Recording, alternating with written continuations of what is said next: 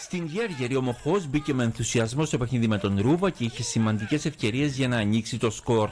Με σπουδαιότερη αυτή του Καρβελά που σούταρε μέσα από την περιοχή και τον Ιατράκη να απομακρύνει με υπερένταση ενώ μετά από το κόρνερ που κέρδισαν οι φιλοξενούμενοι απείλησαν και με τον Βαρδάκη. Στο 26 όμως ο Ρούβας εκμεταλλεύτηκε την αμυντική αδράνεια του Μοχού με τον Απλαδά να βρίσκεται αμαρκάριστος και σουτάροντας να στέλνει την μπάλα στα δίχτυα για το 1-0.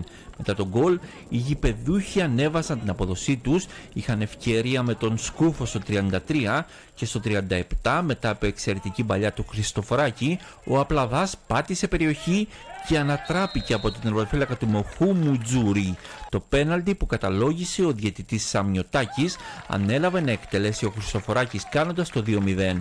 Ο Μοχός απάντησε γρήγορα και στο 40 μετά από ωραία παλιά του Σούρσου ο Καουκάκης έδειξε την ποιότητά του και τελείωσε με γκολ την φάση μειώνοντας 2-1. Στην τελευταία φάση του πρώτου ημιχρόνου ο Κουτσογιαννάκης για τον Ρούβα δεν μπόρεσε να σκοράρει.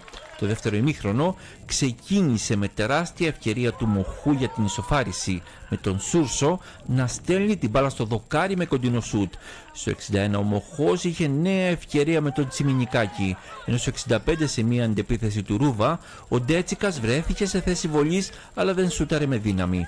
Σε μία από τις τελευταίες προσπάθειες του Μοχού για την ισοφάριση στο 80 το σου του Καουκάκη πέρασε πάνω από τα δοκάρια του Ιατράκη, με τους γηπεδούχους στα τελευταία λεπτά να βρίσκουν χώρους και να απειλούν με Χριστοφοράκη, Ντέτσικα και Ανογιαννάκη για να φτάσουν στο τρίτο γκολ.